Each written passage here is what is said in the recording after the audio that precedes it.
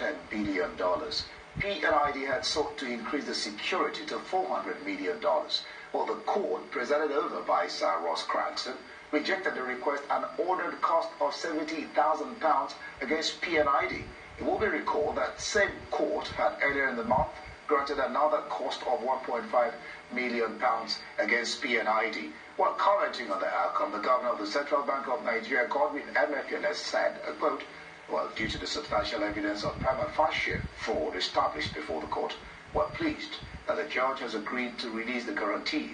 We're also pleased that the court has rejected P&ID's application to increase the guarantee, which was clearly intended to be a diversionary tactic and entirely misconceived.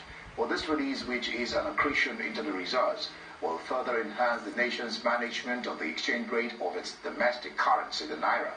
This is a further and significant victory for Nigeria in our ongoing fight to overturn the 10 billion US dollars award procured through fraud and corruption by P&ID and former government officials. As a quote from the Central Bank Governor Gordon.